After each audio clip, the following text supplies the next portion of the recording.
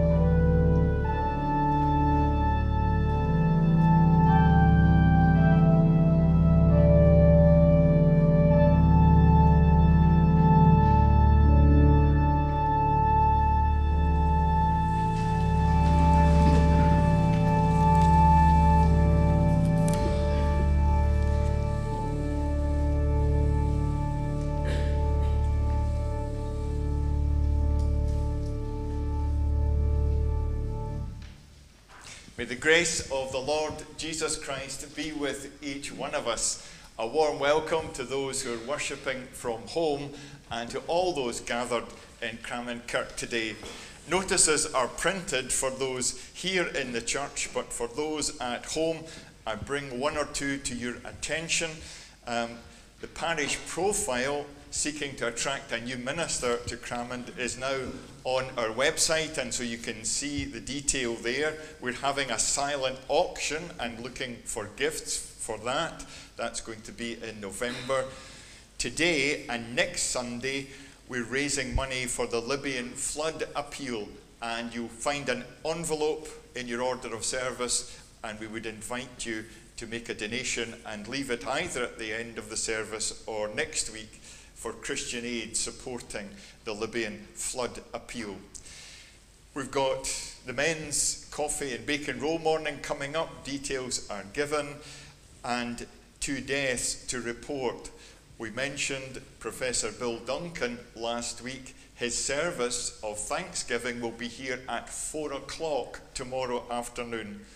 Bill was here for a reasonably short time but made a big impression on those who knew him, and you'll be very welcome to attend that service. And Mrs. Jessie Armit, a long term member, has died, and her service will be on Saturday, the 21st at 11 o'clock at Morton Hall. Flowers today are from Joe Thompson and Lindy, Lindsay Latona. These are all the notices, other than to say our prayer diary is available. We invite you to use that in your personal devotions. Let us now worship God, and we use the psalm for today for our call to worship, and Jane is going to lead us. Let us worship God. Restore us, O God of hosts. Let your face shine, that we may be saved. You brought a vine out of Egypt. You drove out the nations and planted it. You cleared the ground for it. It took deep root and filled the land. The mountains were covered with its shade, the mighty cedars with its branches. It sent out its branches to the sea and its shoots to the river. Why then have you broken down its walls, so that all who pass along the way pluck its fruit? The boar from the forest ravages it, and all that move in the field feed on it.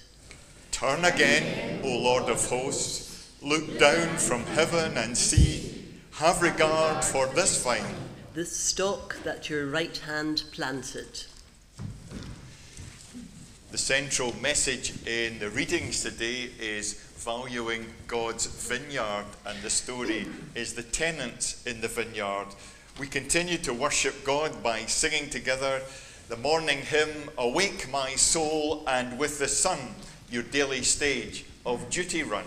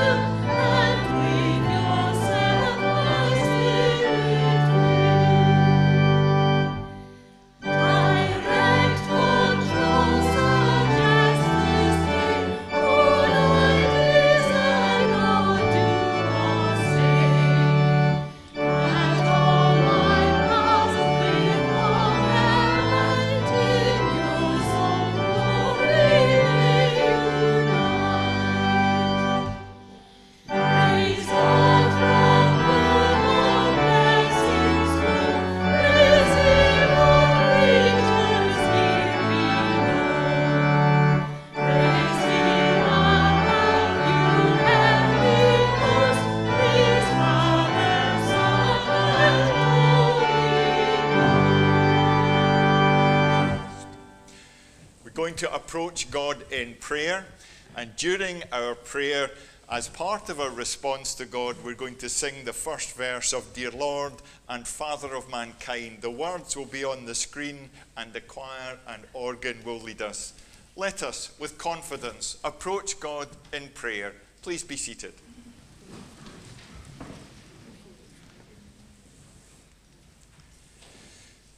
Eternal God, keeper of the vineyard, as we gather in your presence today, we acknowledge that you are the loving vineyard keeper who tenderly cares for your people. Throughout history, you have nurtured us with your providence and guidance, calling us into loving relationships. In this ancient sacred space, we want to know you more deeply, to understand the path that you lay before us.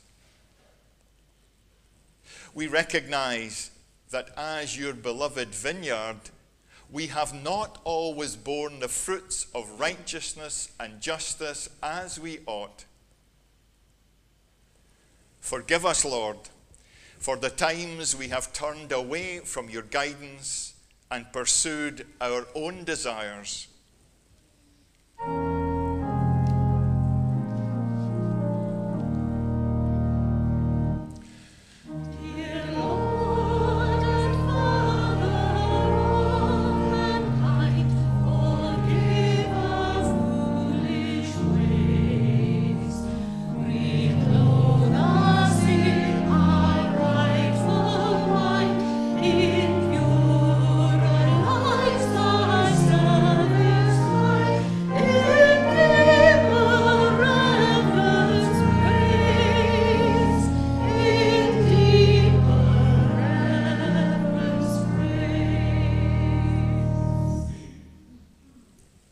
This worship, our singing, our reflecting, and our praying be a rich offering.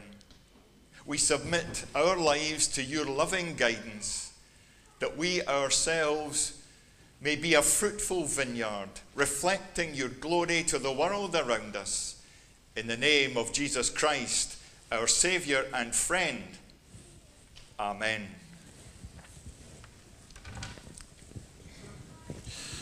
Boys and girls in church and at home. Not too many years ago, there were no computers, there was no daytime television, and on a wet day like yesterday, families had to amuse themselves and they would bring out Ludo and games and Formula One and Monopoly, and they would play all kinds of things. Cards were very popular, but families, after playing those a few times, would start to make up their own games. And being the youngest of three sons, we made up games. And uh, my father was very keen on somebody called Harry Houdini. Hands up if you know who Harry Houdini was. okay, quite a lot of people. Harry Houdini was the greatest escapologist of his time, and he used to do all kinds of things. He would plunge into the water in New York or in London. He would be surrounded by chains and underwater with a deep breath. He would have to find a way to escape. He even had an act where he would bring a big container of water and he would be placed inside it on the stage in the theatre, in the King's Theatre, the Alhambra in Glasgow, or wherever, and he would have to escape. So my family thought this was a great idea and we should try it. So we would get ropes and we would get bands and we would tie each other up. We would tie our hands and see how long it took us to escape, and we'd tie us to things. And of course, sometimes you could get out really easily because I had the smallest hands, you'd manage to get out. But sometimes they tied you up in such a way that you were stuck there for a while and they thought this was great fun. They would point to you and they would go away and have a drink and a biscuit and you would be stuck tied up. And that taught me a great lesson. The great lesson is that when you're free, you want to enjoy it. It's not so much fun being in captivity as it is being free to make your own choices. And that is the great story of the people of Israel.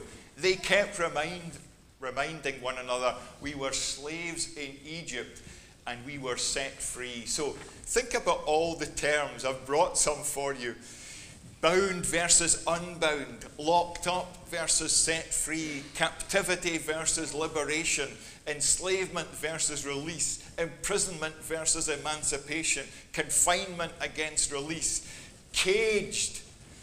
Rather than being set free. And the image we've got here is a lovely image of a bird which has been caged and it is set free. And you can imagine the delight on a bird that hasn't been able to spread its wings, hasn't been able to do what it was designed to do, flying round the room, flying round the area, enjoying the sunshine and choosing what it was going to eat and when it was going to eat. The Christian faith is not about binding us down, it's about setting us free to be all we can be wherever we want to be, the best we can be at our place of work, in our family, and at school too. So that is a message for today. And there's a lovely song which isn't in our hymn book, but we've put it on the screen so that you can sing it with us. It's The Spirit of God lives to set us free. Walk, walk in the light. And it invites us to think about being unbound and being completely free. Let's stand and sing that now.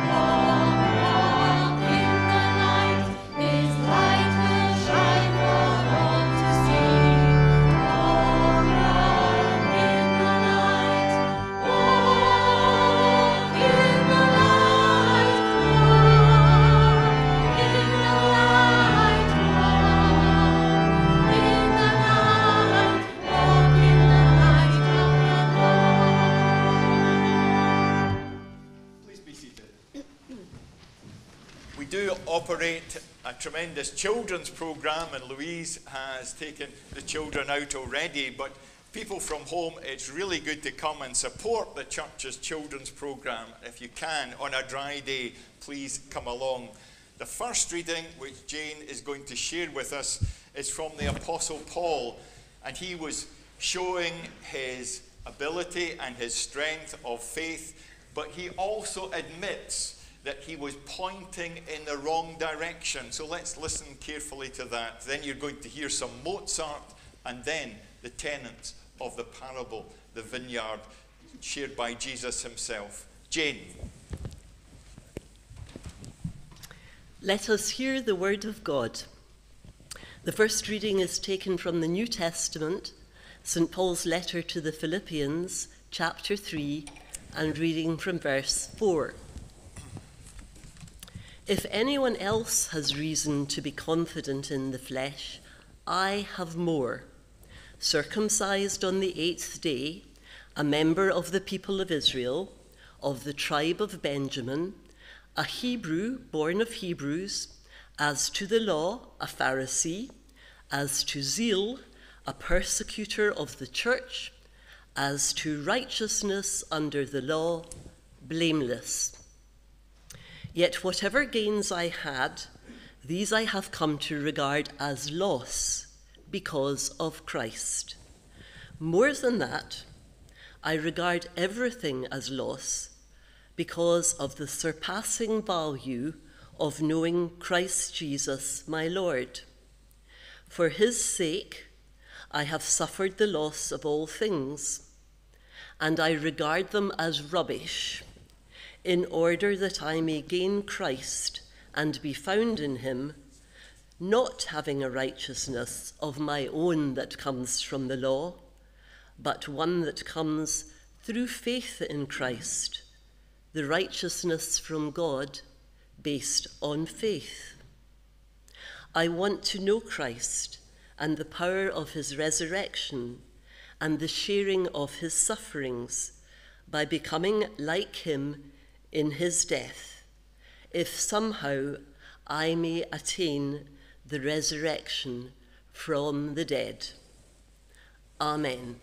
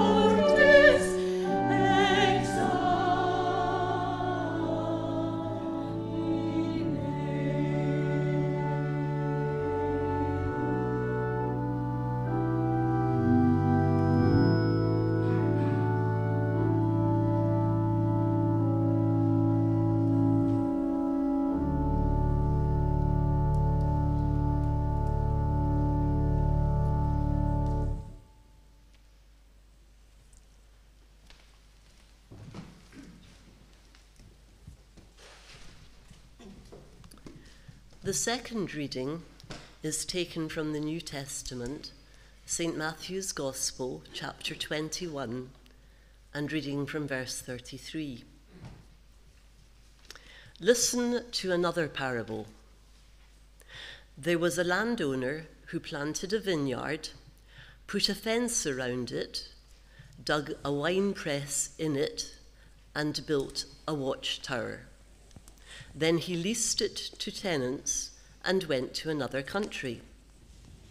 When the harvest time had come, he sent his slaves to the tenants to collect his produce.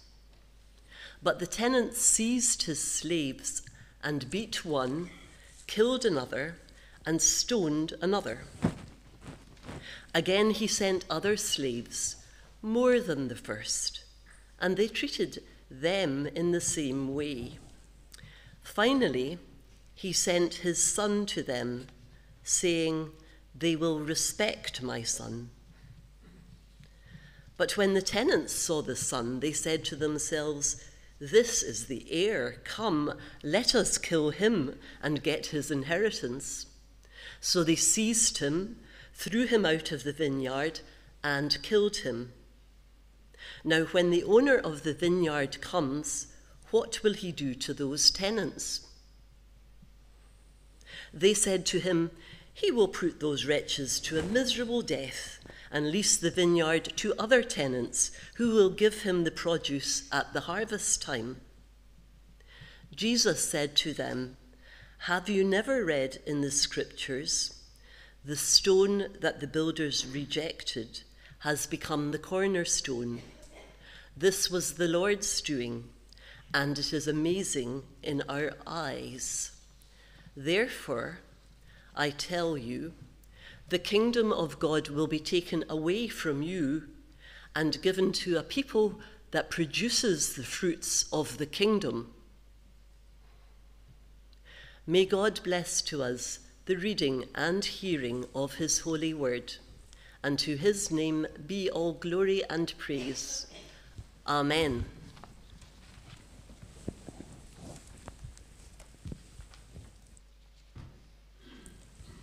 We know from watching our televisions just in these last hours that we live in a broken world Ukraine, Israel, Palestine, Afghanistan, Libya. I'm going to suggest that we sing this very reflective and powerful hymn, remaining seated, to drink in its words and see what it says to us today. It's more of an intercessionary hymn.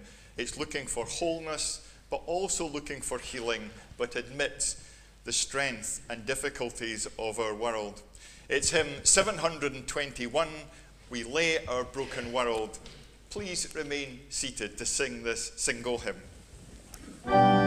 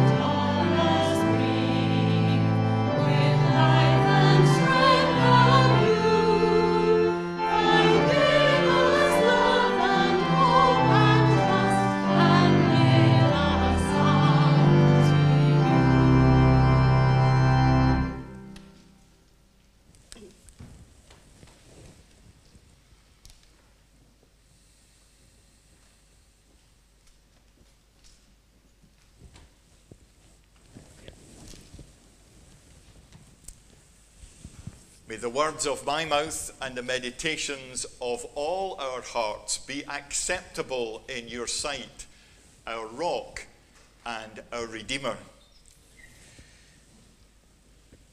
This service and sermon has three points. It's built around the vineyard, and the first point is Jesus. Jesus is in the last week of his life. He is in Jerusalem, the city, and we know what's going to happen, and he knows what's going to happen, and he tells this parable. There's a weight to it. He says there was a landowner who planted a vineyard. He put a wall round it. It was thorough. He put a wine press in, he put up a watchtower to protect it. And then, as was the tradition at that time, if you were a powerful landowner, you lent it out. You rented it to some tenant farmers. At the time of the harvest, he sends, as was the tradition, a servant to collect his portion of the fruit common activity. Come harvest, you send somebody round to get your share of the proceeds. In this parable, you need to know that the landowner is God, Israel is the vineyard, the tenants are the religious leaders, and the servants are the prophets who, from the beginning of time, God has sent to try and keep the people of Israel on the right track because, like people in every time, they are very keen to go off and do their own thing. Jesus says this is how it works out. These tenants seized the servants, they beat one, killed another, and stoned a third. So he sent other servants. God is the owner of the vineyard the point here is that God does not give up. He keeps sending servants to try and keep us all on the right track. God keeps sending, communicating, caring. But you've guessed it, the tenants treat the servants in the same way. They're beaten, stoned, killed. So the owner decides they will respect my son. And so he sends his son. And the tenants say to each other, This is the heir. If we kill him, we will take the inheritance. So they take the son, threw him out of the vineyard, and they kill him. Jesus asks, What then will the owner of the vineyard do when he comes? They reply, He will bring those wretches to a wretched end. Then he will rent out the vineyard to other tenants who will get a share of the crop at harvest time. Jesus makes the point that he wants the vineyard to be fruitful and he wants the people who receive the benefits to share the benefits with others, rather like the harvest message. He actually says, The kingdom of God will be taken away from those tenants and given to a people who will produce the proper fruits. Produce the proper fruits. And Jesus is the cornerstone, as we have in the images. He is the one who gives us the example. He is the one we can build on and they can build on because he was trustworthy and true and dependable. The first point in the sermon was Jesus, the cornerstone. The second point is Jimmy. I once met Jimmy Savile. It was 1981, and he was one of the most influential people in the entire United Kingdom. He was on the radio. He played music. I love music and the radio. He was a TV presenter. Jim will fix it. I love the TV. He was a fundraiser for Stoke Mandeville Hospital for disabled children. He was a charity worker, a respected people who were charity workers. He was close to his mother, and he was a practicing Roman Catholic, a Christian. His actions appeared to be good, helpful, and generous. And so I was pleased to meet him when running a marathon, and I remember going to university on the Monday and saying, We completed the marathon, and you'll never guess it, we met Jimmy Savile. The truth, as you know, is somewhat different, and there will be a TV series starting tomorrow, The Reckoning, which reveals another side to Jimmy Savile. I won't watch it because I find it very, very difficult to see people abusing their power and ill treating children. When Jimmy died, he was praised in obituaries for his personal qualities, and his work raised an estimated 40 million pounds for charities. But by 2014, Jeremy Hunt, our current Chancellor, had to go in front of the British Parliament and make this announcement.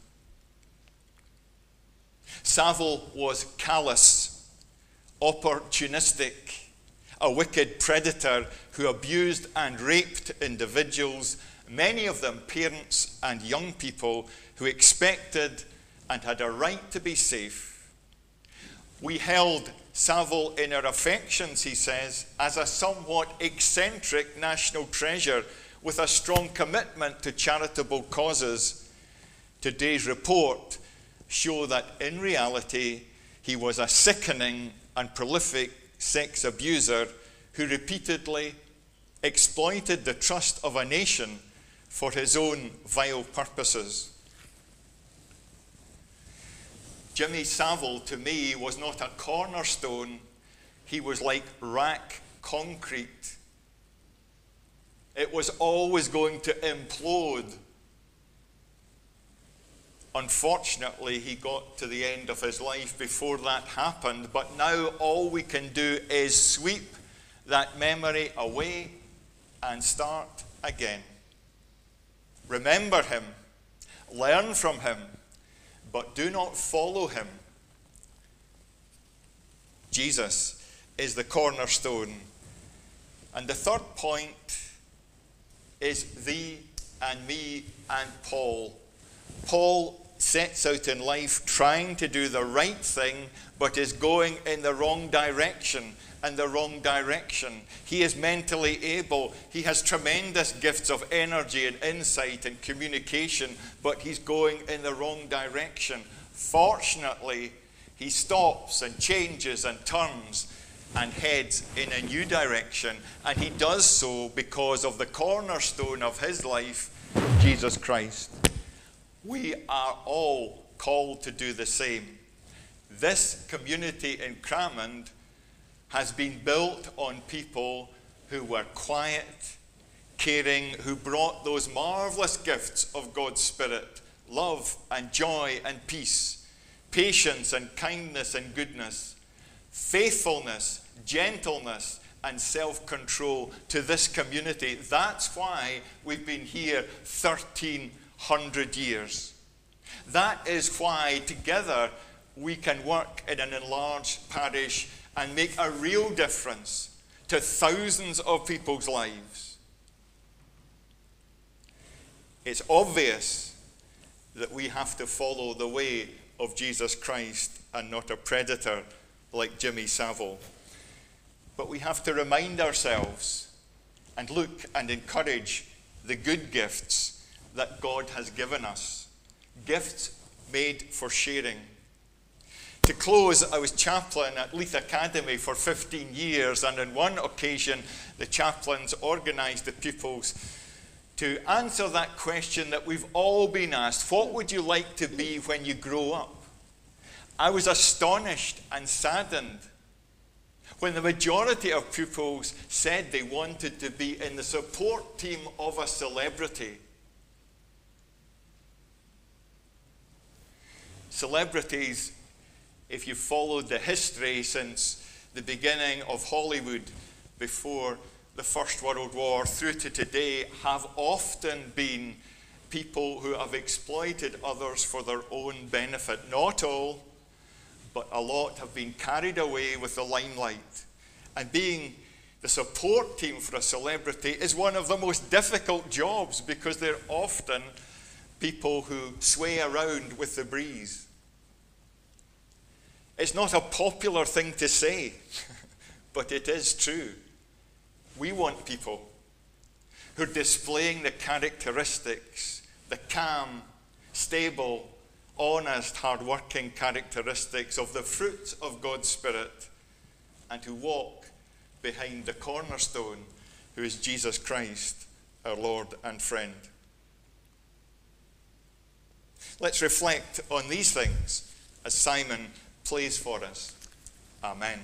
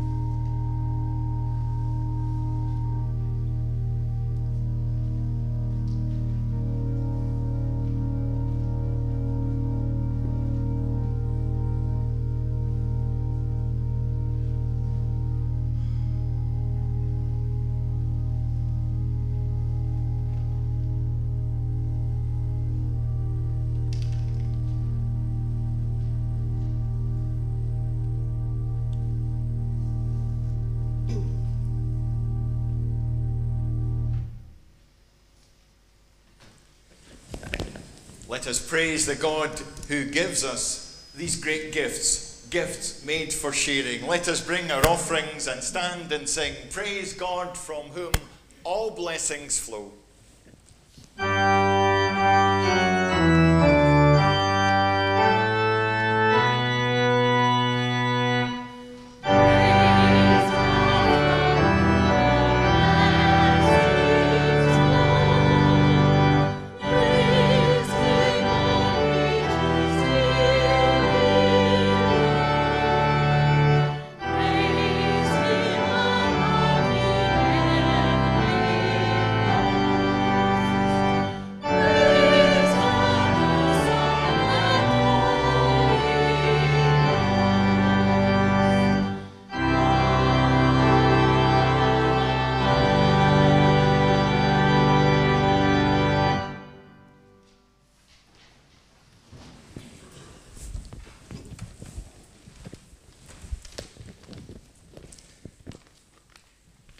Prayers of thanksgiving, and for others, there'll be an opportunity to bring your own thoughts. There's also an opportunity to sing with the choir the final verse of Dear Lord and Father of Mankind, giving a different context from the first. Let us pray together. Gracious God, the source of all blessings and the provider of every good thing, As we look back on our personal journeys, we are grateful for knowing Jesus, who embodies your grace and truth. through faith in Christ, we find righteousness and hope for the world. In times of trial and uncertainty, your love sustains us, and your promises gives us strength. We thank you for your faithfulness throughout generations, guiding your people, the vineyard of the Lord, with your steady hand. Loving God, the comforter of the afflicted, we remember those who live in Israel Palestine today as violence and bloodshed affects that country once more. In the face of pain and suffering, we find hope in your promises and the assurance that you are with us. Hear our prayers for the broken-hearted and the suffering. We lift up those who are burdened with relationship distress or spiritual uncertainties. May they experience the hope and restoration that comes from knowing you. We pray for the lonely, the oppressed, and the marginalized, that they may find solace in your love and find justice and equity in our society. May your church be a beacon of hope, reaching out to those in need with compassion and practical support. We pray for our community and nation, for all who are facing hardships and challenges. Be with those who are seeking righteousness and guidance, that they may find realization of their hope in you.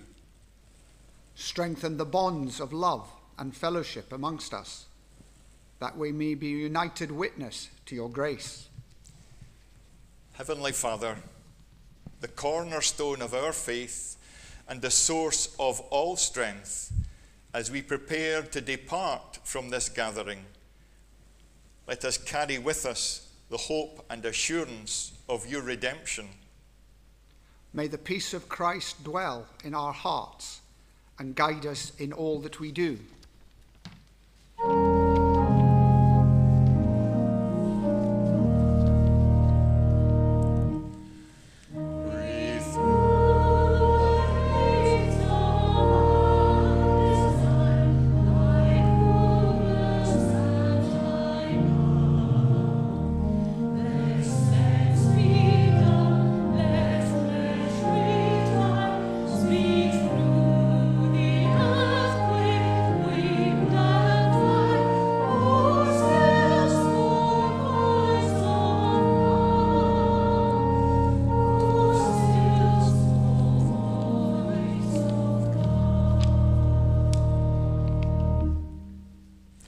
As we press forward in faith, may we forget what lies behind and embrace the call you have set before us.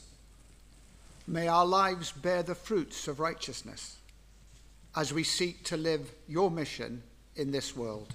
May we be instruments of your peace, spreading love, grace, and justice wherever we go.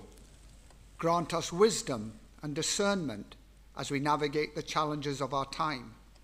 And may our actions bring peace, joy, and love as we pray together in Jesus' words, saying, Our Father, Father, which art in heaven, hallowed be thy name.